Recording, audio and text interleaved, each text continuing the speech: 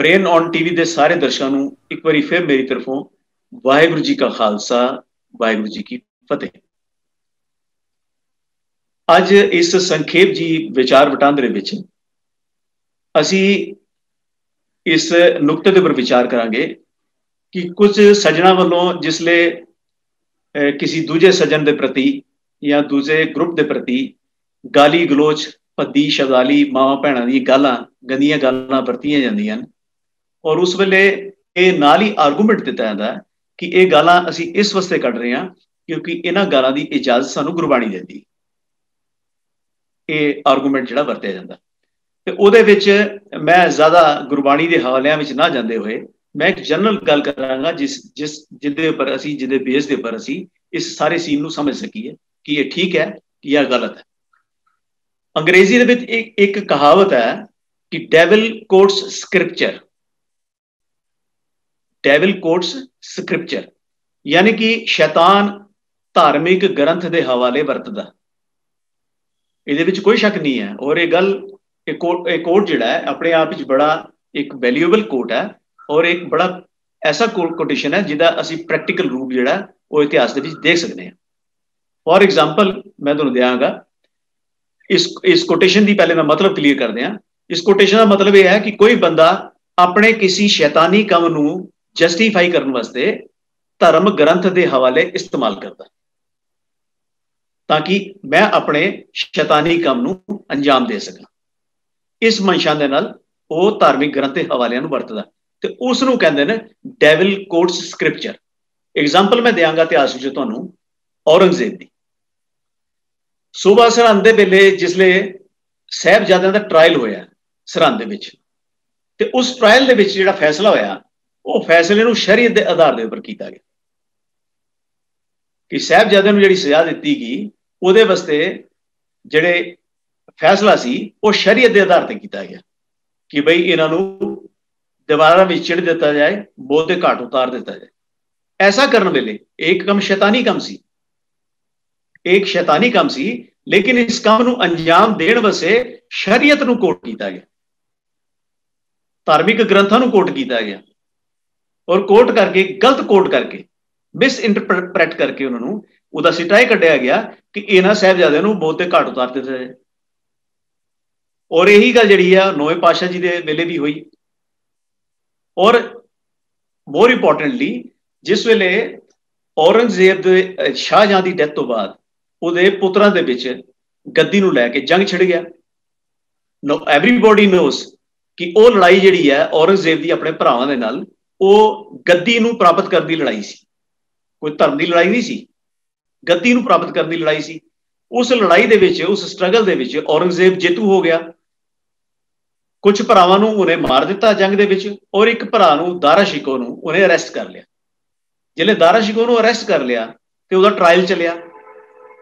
ਹੁਣ arrested prisoner ਨੂੰ ਮਾਰਨਾ ਹੈ ਤੇ ਕਿਸ ਤਰ੍ਹਾਂ ਮਾਰਨਾ ਹੈ? ਕੋਈ ਤਰੀਕਾਕਾਰ ਹੈ ਅਡਾਪਟ ਕੀਤਾ ਗਿਆ। ਤਰੀਕਾਕਾਰ ਕੀ ਅਡਾਪਟ ਕੀਤਾ ਗਿਆ? ਕਿ ਉਹਦਾ ਟ੍ਰਾਇਲ ਚੱਲਿਆ ਔਰ ਮੌਲਾਨਾ ਮੌਲਵੀਆਂ ਨੂੰ ਪੁੱਛਿਆ ਗਿਆ, ਯਾਨੀ ਕਿ ਕਾਜ਼ੀਆਂ ਨੂੰ ਪੁੱਛਿਆ ਗਿਆ ਕਿ ਭਈ ਤੁਸੀਂ ਇਹਦੀ ਸਜ਼ਾ ਤੈਅ ਕਰੋ। ਕਿ ਇਹਦੀ ਸਜ਼ਾ ਕੀ ਹੈ? ਤੇ ਇਹਦਾ ਅਪਰਾਧ ਕੀ ਹੈ? ਤੇ ਉਹਨਾਂ ਨੇ ਸਜ਼ਾ ਤੈਅ ਕਰਨ ਵਾਸਤੇ ਉਹਦਾ ਅਪਰਾਧ ਕੀ ਕੱਢਿਆ? ਉਹਨਾਂ ਨੇ ਕਿਹਾ ਕਿ ਦਾਰਾ ਸ਼ਿਕੋ ਇਸਲਾਮ ਦੇ ਖਿਲਾਫ ਲੜ ਰਿਹਾ। ਦਾਰਾ ਸ਼ਿਕੋ ਨੇ ਇਸਲਾਮ ਦੇ ਖਿਲਾਫ ਲੜਾਈ ਜਿਹੜੀ ਹੈ, ਉਹ ਛੇੜੀ ਹੈ। ਤੇ ਇਸ ਵਸੇ ਸ਼ਰੀਅਤ ਦੇ ਮੁਤਾਬਕ ਇਹਦੀ ਸਜ਼ਾ ਬਣਦੀ ਹੈ ਕਿ ਇਹਨੂੰ ਮੌਤ ਦੇ ਘਾਟ ਉਤਾਰ ਦਿੱਤਾ ਜਾਏ। ਜਦ ਕਿ ਸਾਰਿਆਂ ਨੂੰ ਪਤਾ ਹੈ। ਉਸ ਵੇਲੇ ਕਾਜ਼ੀਆਂ ਨੂੰ ਵੀ ਪਤਾ ਸੀ ਕਿ ਇਹ ਲੜਾਈ ਜਿਹੜੀ ਹੈ ਧਰਮ ਦੀ ਲੜਾਈ ਨਹੀਂ ਹੈ। ਦਾਰਾ ਸ਼ਿਕੋ ਗੱਦੀ ਵਸੇ ਲੜ ਰਿਹਾ ਸੀ ਔਰ ਗੱਦੀ ਦੇ ਵਾਸਤੇ ਉਸ ਲੜਾਈ ਵਿੱਚ ਉਹ ਔਰੰਗਜ਼ੇਬ ਦੇ ਖਿਲਾਫ ਲੜ ਰਿਹਾ ਸੀ। ਇਸਲਾਮ ਦੇ ਖਿਲਾਫ ਨਹੀਂ ਸੀ ਲੜ ਰਿਹਾ। ਲੇਕਿਨ ਔਰੰਗਜ਼ੇਬ ਨੇ ਆਪਣੇ ਇਸ ਕੰਮ ਨੂੰ ਅੰਜਾਮ ਦੇਣ ਵਾਸਤੇ ਧਰਮ ਗ੍ਰੰਥ ਦਾ ਸਹਾਰਾ ਲਿਆ। ਔਰ ਇਸ ਤਰ੍ਹਾਂ ਹੀ ਜਿਹੜੇ ਅਸੀਂ ਇਸੇ ਸਪਿਰਿਟ ਨੂੰ ਹੁਣ ਅੱਜ ਦੇ ਪ੍ਰਚਾਰ ਦੇ ਉੱਪਰ, ਕੁਝ ਪ੍ਰਚਾਰਕਾਂ ਦੇ ਉੱਪਰ, ਕੁਝ ਵਿਚਾਰਕ ਸੱਜਣਾ ਦੇ ਉੱਪਰ, ਕੁਝ ਟਿੱਪਣੀਕਾਰਾਂ ਦੇ ਉੱਪਰ ਜਿਹੜੇ ਅਸੀਂ ਲੈ ਕੇ ਆਨੇ ਆ ਤੇ ਅੱਜ ਉਹ ਇਹੀ ਆਪਣਾ ਸ਼ੈਤਾਨੀ ਕੰਮ ਪੂਰਾ ਕਰਨ ਵਾਸਤੇ ਕੋਟ ਕਿਨੂੰ ਕਰਦੇ ਨੇ ਗੁਰੂ ਗ੍ਰੰਥ ਸਾਹਿਬ ਕਿ ਵੀ ਸਾਨੂੰ ਇਹ ਗਾਲਾਂ ਕੱਢਣ ਦੀ ਇਜਾਜ਼ਤ ਗੁਰੂ ਗ੍ਰੰਥ ਸਾਹਿਬ ਦਿੰਦੇ ਨੇ। ਹੁਣ ਇਹ ਦਾਵਾ ਉਹਨਾਂ ਲੋਕਾਂ ਵੱਲੋਂ ਕੀਤਾ ਜਾ ਰਿਹਾ ਹੈ। ਇਹ ਗਾਲੀ ਗਲੋਚ ਉਹ ਬੰਦੇ ਕਰ ਰਹੇ ਨੇ ਜਿਹੜੇ ਬੰਦੇ ਇਹ ਦਾਵਾ ਕਰਦੇ ਨੇ, ਇਹ ਕਲੇਮ ਕਰਦੇ ਨੇ ਕਿ ਅਸੀਂ ਸੋਹਣੇ ਸਮਾਜ ਦੀ ਸਿਰਜਣਾ ਕਰਨੀ ਹੈ। ਹੁਣ ਉਹਨਾਂ ਦੇ ਸੋਹਣੇ ਸਮਾਜ ਦੀ ਸਿਰਜਣਾ ਅਗਰ ਉਹਨਾਂ ਨੇ ਕਰਨੀ ਹੈ, ਤੇ ਉਹ ਪਹਿਲੇ ਤੇ ਇਸ ਚੀਜ਼ ਨੂੰ ਸਮਾਜ ਤੋਂ ਵੀ ਕੁਝ ਸਿੱਖ ਲੈਣ ਨਾ।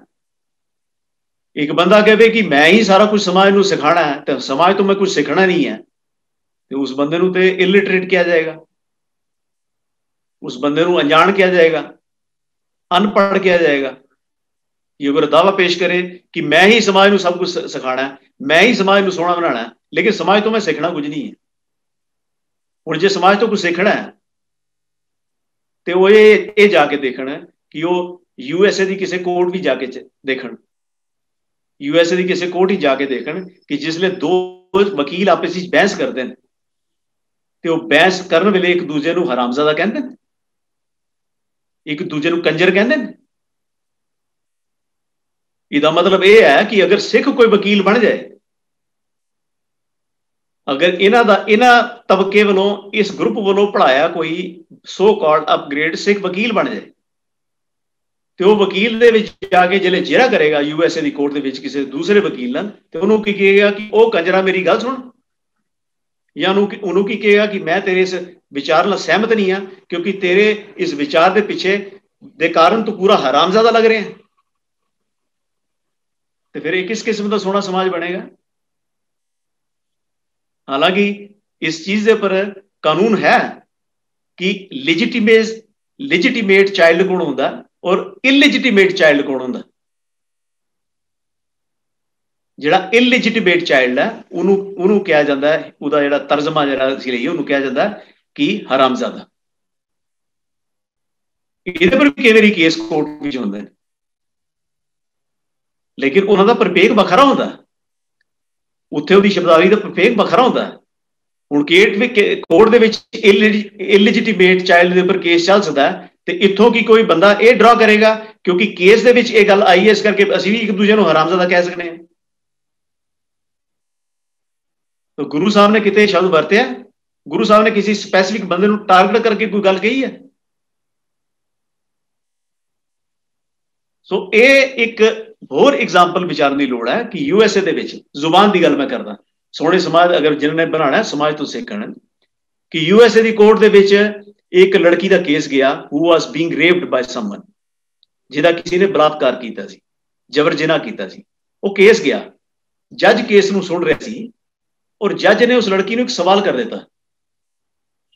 ਉਹਨੇ ਸਵਾਲ ਕਰ ਦਿੱਤਾ, ਕਹਿੰਦਾ, ਮੈਂ ਪੁੱਛਣਾ ਚਾਹਨਾ ਕਿ ਜਿਸ ਵੇਲੇ ਤੇਰੇ ਨਾਲ ਜਬਰ ਜਨਾਹ ਕੀਤਾ ਜਾ ਰਿਹਾ ਸੀ ਤੇ ਤੂੰ ਆਪਣੇ ਬਚਾਅ ਵਾਸਤੇ ਕੀ ਕੀ ਕੀਤਾ?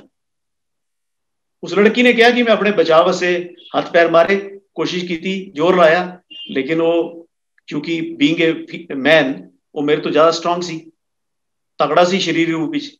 ਜੱਜ ਨੇ ਨੈਕਸਟ ਸਵਾਲ ਨੂੰ ਪੁੱਛਿਆ। ਉਹਨੇ ਕਿਹਾ ਕਿ did you close your legs ਇਹ ਜੱਜ ਲਾਈਨ ਬੋਲ ਗਿਆ। Did you close your legs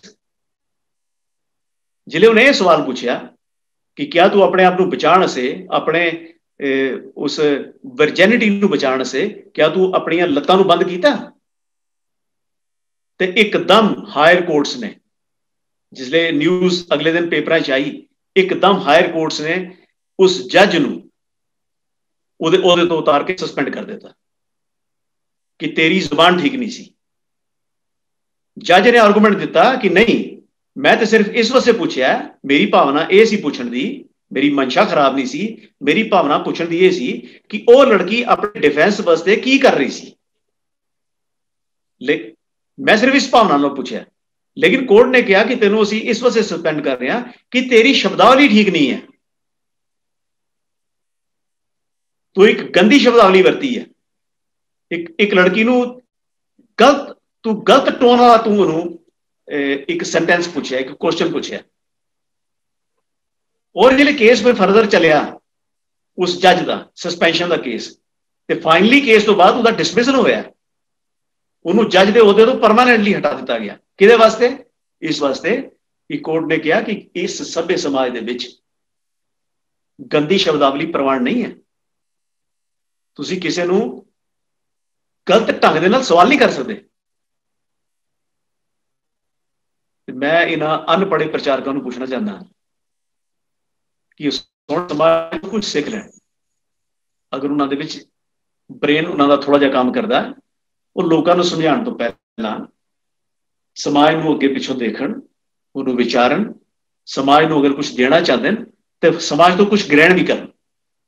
ਸਿੱਖਣ ਕਿ ਸਭੇ ਸਮਾਜ ਦੇ ਵਿੱਚ ਜ਼ੁਬਾਨ ਦੇ ਜ਼ੁਬਾਨ ਦੀ ਵਰਤੋਂ ਦੇ ਪੈਰਾਮੀਟਰਸ ਕੀ ਹੁੰਦੇ ਔਰ ਸਮਾਜ ਕੀ ਕਿਹਨਾਂ ਪੈਰਾਮੀਟਰਸ ਨਾਲ ਚੰਗਾ ਬਣਦਾ ਇਹਨਾਂ ਦੇ ਹਿਸਾਬ ਨਾਲ ਤੇ ਪਾਰਲੀਮੈਂਟਰੀ ਜਿਸਲੇ ਡਿਸਕਸ਼ਨਸ ਹੁੰਦੀਆਂ ਨੇ, ਉੱਥੇ ਤੇ ਪਾਰਲੀਮੈਂਟ ਦੇ ਵਿੱਚ ਬੈਠੇ ਬੰਦੇ ਇੱਕ ਦੂਜੇ ਨੂੰ ਇਹੀ ਕਹਿੰਦੇ ਰਹਿਣ ਕਿ ਤੂੰ ਹਰਾਮਜ਼ਾਦਾ ਹੈ, ਤੂੰ ਕੰਜਰ ਹੈ, ਤੂੰ ਗਧਾ ਹੈ, ਤੂੰ ਖੋਤਾ ਹੈ।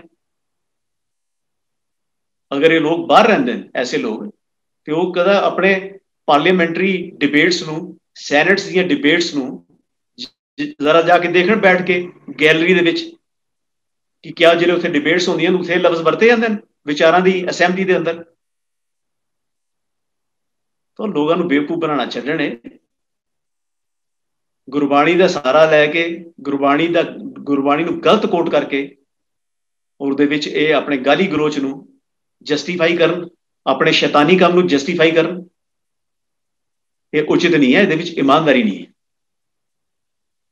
ਉਹ ਇਹਨਾਂ ਗੱਲਾਂ ਗੱਲਾਂ ਵਰ ਸਾਡੇ, ਖਾਸ ਤੌਰ ਤੇ ਸਾਡੇ ਜਿਹੜੇ ਨੌਜਵਾਨ ਬੰਦੇ ਨੇ ਮੁੰਡੇ ਨੇ ਜਿਹੜੇ who are under impressionable age ਜਿਹੜੇ ਕਿ متاثر ਹੋ ਜਾਂਦੇ ਨੇ ਇਹਨਾਂ ਗੱਲਾਂ ਤੋਂ ਉਹਨਾਂ ਨੂੰ ਵਿਚਾਰ ਕਰਨਾ ਚਾਹੀਦਾ ਕਿ ਕਿਆ ਇਹ ਪ੍ਰੈਕਟੀਕਲ ਰੂਪ ਦੇ ਵਿੱਚ ਇਹ ਵਿਵਹਾਰ ਸਾਡੇ ਜੀਵਨ ਵਿੱਚ ਸਾਡੇ ਆਫਿਸ ਵਿੱਚ ਸਾਡੇ profession ਵਿੱਚ ਕੰਮ ਆਏਗਾ ਇੱਕ ਡਾਕਟਰ ਜਿਹੜਾ ਉਹਨੂੰ ਮਰੀਜ਼ ਆਏਗਾ ਉਹਦੇ ਕੋਲ ਇੱਕ ਵਕੀਲ ਕੋਲ ਉਹਦਾ ਕਲਾਇੰਟ ਆਏਗਾ ਇੱਕ ਜੱਜ ਕੋਲ ਉਹਦੇ ਸਾਹਮਣੇ ਕੇਸ ਆਏਗਾ ਇੱਕ ਇੰਜੀਨੀਅਰ ਕੋਲੋਂ ਨੂੰ ਕੋਈ ਮਿਲਣ ਆਏਗਾ ਤੇ ਕਿਆ ਉਹਦੇ ਨਾਲ ਕੋਈ ਡਿਫਰੈਂਸ ਆਫ ਓਪੀਨੀਅਨ ਦੇ ਦੌਰਾਨ ਉਹ ਇਹ ਵਾਲੀਆਂ ਗੱਲਾਂ ਕੱਢੇਗਾ ਉਹਨੂੰ? ਤੇ ਫਿਰ ਸਮਾਜ ਚੰਗਾ ਬਣੇਗਾ।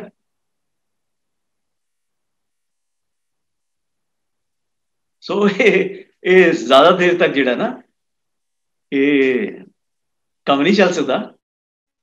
ਦੇ ਵਿੱਚ ਗਾਲੀ ਗਲੋ ਜਿਹੜਾ ਅਸੀਂ ਸਭੇ ਸਭੇ ਭਾਸ਼ਾ ਜਿਹੜੀ ਹੈ ਉਹ ਲੋਕਾਂ ਨੂੰ ਸਿਖਾਣੀ ਪਏਗੀ, ਸਿੱਖਣੀ ਪਏਗੀ। ਔਰ ਮੇਰੇ ਖਿਆਲ ਦੇ ਵਿੱਚ ਇੱਕ ਫੈਕਟਰ ਇਹ ਕੰਮ ਕਰਦਾ ਕਿ ਜਿਤੇ ਅੰਦਰ ਜਿਸ ਕਿਸਮ ਦੀ ਭਾਵਨਾ ਹੁੰਦੀ ਹੈ ਨਾ ਨੇਚਰ ਜਿਸ ਕਿਸਮ ਦੀ ਹੁੰਦੀ ਹੈ। ਤੇ ਉਸੇ ਨੇਚਰ ਦਾ ਉਹਨੂੰ ਬੰਦਾ ਮਿਲ ਜਾਏ ਤਾਂ ਝਾਟੂ ਦੇ ਨਾਲ ਅਟੈਚ ਹੋ ਜਾਂਦਾ। ਅਗਰ ਕਿਸੇ ਨੂੰ ਕਿਸੇ ਦੀ ਆਪਣੀ ਜ਼ੁਬਾਨ ਹੀ ਗੰਦੀ ਹੈ ਨਾ, ਤੇ ਉਹਨੂੰ ਉਹ ਗੰਦੀ ਜ਼ੁਬਾਨ ਵਾਲਾ ਪ੍ਰਚਾਰਕ ਲੱਭ ਜਾਏ, ਤੇ ਉਹ ਉਹ ਫਟ ਉਹਦੇ ਨਾਲ ਜੁੜ ਜਾਏਗਾ। ਕਿਉਂਕਿ ਉਹ ਇੰਟਰਨਲੀ ਉਹਨਾਂ ਦੀ ਕੁਝ ਨੇਚਰ ਮਿਲਦੀ ਹੁੰਦੀ ਆਪਸ ਵਿੱਚ। ਤੋਂ ਫਿਰ ਸਾਰਾ ਇੱਕ ਤਬਕਾ ਜਿਹੜਾ ਨਾ, ਜਿਹੜਾ ਹੁਣ ਇੱਕ ਜਿਸ ਤਰ੍ਹਾਂ ਅਸੀਂ ਦੇਖਦੇ ਹਾਂ ਕਿ ਕੋਈ ਗੈਂਗ, ਗੈਂਗਸਟਰ ਜਿਹੜੀ ਵਾਰਸ ਹੁੰਦੀਆਂ ਤੇ ਡਿਫਰੈਂਟ ਇੱਕ ਗੈਂਗ ਦੇ ਵਿੱਚ ਕਾਫੀ ਸਾਰੇ ਕ੍ਰਿਮੀਨਲ ਜਿਹੜੇ ਇਨਵੋਲਵ ਹੁੰਦੇ ਨੇ। ਤੇ ਉਹ ਇਸ ਵਾਸਤੇ ਇਨਵੋਲਵ ਇਕੱਠੇ ਹੋ ਜਾਂਦੇ ਨੇ ਗੈਂਗ ਦੇ ਵਿੱਚ, ਕਿਉਂਕਿ ਉਹਨਾਂ ਦੀ ਕਿਤੇ ਨਾ ਕਿਤੇ ਮੈਂਟੈਲਿਟੀ ਮਿਲਦੀ ਹੁੰਦੀ ਆਪੇ ਵਿੱਚ ਉਹ ਉਸੇ ਮੈਂਟੈਲਿਟੀ ਦੇ ਹੁੰਦੇ ਨੇ, ਗੰਦੀ ਮੈਂਟੈਲਿਟੀ ਦੇ, ਅਪਰਾਧਿਕ ਮੈਂਟੈਲਿਟੀ ਦੇ। ਔਰ ਉਹ ਮਿਲ ਜਾਂਦੇ ਨੇ, ਉਹਨਾਂ ਦਾ ਗਰੁੱਪ ਬਣ ਜਾਂਦਾ। ਤੇ ਉਹ ਅਟਰੈਕਸ਼ਨ ਜਿਹੜੀ ਹੈ ਨਾ, ਉਹ ਬੇਸਿਕਲੀ ਉਹ ਨੌਜਵਾਨਾਂ ਨੂੰ ਸੋਚਣੀ ਚਾਹੀਦੀ ਹੈ ਕਿ ਕਿਧਰੇ ਸਾਡੇ ਆਪਣੇ ਆਤਮੇ 'ਚ ਕੀ ਉਹ ਕੋਈ ਗੰਦਗੀ ਤੇ ਨਹੀਂ ਹੈ ਕਿ ਜਿਹਦੇ ਕਾਰਨ ਸਾਨੂੰ ਗੰਦਗੀ ਪਸੰਦ ਆ ਰਹੀ ਹੈ ਇਹ ਸਾਈਕੋਲੋਜੀਕਲ ਫੈਕਟਰ ਹੈ ਇੱਕ। ਇਹ ਸਾਈਕੋਲੋਜੀਕਲ ਸਟੱਡੀ ਹੈ ਆਪਣੇ ਆਪ ਨੂੰ ਸਟੱਡੀ ਕਰੋ ਕਿ ਕਿਤੇ ਅਸੀਂ ਸਾਨੂੰ ਗਾਲਾਂ ਕੱਢਣ ਵਾਲਾ ਬੰਦਾ ਅਗਰ ਚੰਗਾ ਲੱਗ ਰਿਹਾ, ਇਹਦਾ ਮਤਲਬ ਇਹ ਹੈ ਕਿ ਅਗਰ ਉਹ, ਅਸੀਂ ਇੱਕ ਗੰਦੀ ਚੀਜ਼ ਨੂੰ ਪਸੰਦ ਕਰ ਰਹੇ ਹਾਂ ਤੇ ਕਿਤੇ ਅੰਦਰ ਸਾਡੀ ਆਪਣੀ ਨੇਚਰ ਵਿੱਚ ਗੰਦਗੀ ਤੇ ਨਹੀਂ ਹੈ ਕਿ ਗੰਦਗੀ ਗੰਦਗੀ ਵੱਲ ਅਟਰੈਕਟ ਅਟਰੈਕਟ ਹੋ ਰਹੀ ਹੈ। ਉਸ ਵੱਲ ਖਿੱਚੀ ਜਾ ਰਹੀ ਹੈ। ਤਾਂ ਅਗਰ ਇਹ ਹੋ ਰਿਹਾ ਤੇ ਉਹ ਕੋਈ ਪ੍ਰਚਾਰਕ ਜਿਹੜੇ ਨੇ, ਉਹ ਇਸ ਨੂੰ ਆਪਣੀ ਤਾਕਤ ਨਾ ਸਮਝਣ। ਉਹ ਇਹ ਨਾ ਸਮਝਣ ਕਿ ਅਸੀਂ ਲੋਕਾਂ ਨੂੰ ਕਨਵਿੰਸ ਕਰ ਰਹੇ ਹਾਂ। ਉਹ ਸਿਰਫ ਕਰ ਕੀ ਰਹੇ ਨੇ ਕਿ ਉਹ ਆਪਣੀ ਟਾਈਪ ਦੇ, ਆਪਣੀ ਟਾਈਪ ਦੀ ਨੇਚਰ ਦੇ ਬੰਦਿਆਂ ਨੂੰ ਇਕੱਠਾ ਕਰ ਰਹੇ ਨੇ। ਔਰ ਉਹਦੇ ਵਿੱਚ ਦੱਸ ਰਹੇ ਨੇ ਕਿ ਸਾਡੇ ਸਬਸਕ੍ਰਾਈਬਰ ਇੰਨੇ ਹੋ ਗਏ, ਇੰਨੇ ਹੋ ਗਏ, ਇੰਨੇ ਹੋ ਗਏ। ਬੇਸਿਕਲੀ ਉਹ ਲਾਈਕ ਮਾਈਂਡਡ ਬੰਦੇ ਜਿਹੜੇ ਨੇ ਨਾ, ਗੰਦੀ ਜ਼ੁਬਾਨ ਵਾਲੇ, ਉਹ ਇਕੱਠੇ ਹੋ ਰਹੇ ਥੱਲੇ ਕਮੈਂਟਸ ਕਰਦੇ ਨੇ, ਅਗਰ ਉਹਨਾਂ ਨੂੰ ਕੋਈ ਗੱਲ ਸਮਝਾਈ ਜਾਏ, ਪਿਆਰ ਨਾਲ ਸਤਿਕਾਰ ਸਮਝਾਈ ਜਾਏ, ਉਹ ਥੱਲੇ ਕਮੈਂਟਸ ਵਿੱਚ ਗਾਲਾਂ ਕੱਢਣ ਆ ਜਾਂਦੇ ਨੇ। ਉਹ ਗੱਲ ਸ਼ੁਰੂ ਹੀ ਗੱਲ ਤੋਂ ਕਰਦੇ ਨੇ। ਉਹ ਕਿਉਂ ਕਰਦੇ ਨੇ? ਕਿਉਂਕਿ ਇਨਹੈਰਿਟਡ ਹੈ ਉਹਨਾਂ ਦੇ ਅੰਦਰ ਉਹ ਫਿਲਥ ਉਹ ਫਿਲਥ ਜਿਹੜੀ ਹੈ ਉਹਨਾਂ ਦੇ ਉਹ ਗੰਦਗੀ ਇਨਹੈਰਿਟਡ ਹੈ। ਉਹ ਕਿਤੇ ਉਹਨਾਂ ਦੇ ਨੇਚਰ ਦੇ ਵਿੱਚ ਹੈ। ਉਹਨਾਂ ਨੇ ਅੱਗੋਂ ਪਿੱਛੋਂ ਆਪਣੇ ਸਮਾਜ ਤੋਂ ਕਿਤੋਂ ਸਿੱਖ ਲਈ ਹੈ ਮਾਪੇ ਬੜੇ ਅੱਛੇ ਹੋਣਗੇ, ਲੇਕਿਨ ਸੋਸਾਇਟੀ ਨਹੀਂ ਅੱਛੀ ਹੋਏਗੀ। ਉੱਥੋਂ ਉਹਨਾਂ ਦੇ ਅੰਦਰੋਂ ਗੱਲ ਆ ਚੁੱਕੀ ਹੈ। ਤੋਂ ਇਹਨੂੰ ਇਹਨੂੰ ਸੁਧਾਰਨ ਨੂੰ, ਇਹਦਾ ਕੋਈ ਸੁਧਾਰ ਦੇ ਵੱਲ ਕਦਮ ਚੁੱਕਣ ਜਿਹੜੇ ਉਹਨਾਂ ਦੇ ਲੀਡਰ ਨੇ, ਕਿ ਉਹਨਾਂ ਦੀ ਇਸ ਗੰਦਗੀ ਨੂੰ ਬਾਹਰ ਕਿਸ ਤਰ੍ਹਾਂ ਕੱਢੀਏ। ਇਹ ਨਹੀਂ ਕਿ ਗੰਦਗੀ ਗੰਦਗੀ ਵੱਲ ਅਟਰੈਕਟ ਹੋ ਜਾਏ।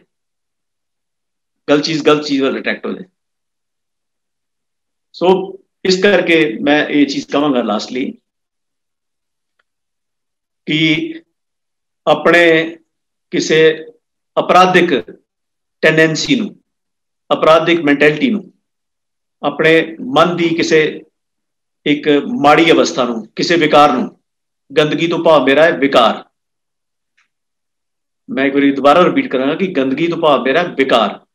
ਤੋਂ ਆਪਣੀ ਇੱਕ ਇਸ ਵਿਕਾਰੀ ਜਿਹੜੀ ਪ੍ਰਵਿਰਤੀ ਹੈ, ਵਿਕਾਰੀ ਮਾਨਸਿਕਤਾ ਹੈ, ਉਹਨੂੰ ਜਸਟੀਫਾਈ ਕਰਨ ਵਾਸਤੇ ਉਹ ਗੁਰੂ ਗ੍ਰੰਥ ਸਾਹਿਬ ਦਾ ਹਵਾਲੇ ਨਾ ਵਰਤਨ ਇਹ ਫਿਰ ਉੱਥੇ ਇਹੀ ਜਿਹੜੀ ਹੈ ਇੱਕ ਲਾਗੂ ਹੁੰਦੀ ਹੈ ਗੱਲ ਕਿ ਸ਼ੈਤਾਨ ਆਪਣੀ ਸ਼ੈਤਾਨੀ ਨੂੰ ਜਸਟੀਫਾਈ ਕਰਨ ਵਾਸਤੇ ਧਰਮ ਗ੍ਰੰਥ ਦੇ ਹਵਾਲੇ ਨੂੰ ਇਸਤੇਮਾਲ ਕਰਦਾ ਇਹਨਾਂ ਸ਼ਬਦਾਂ ਦੇ ਨਾਲ ਹੀ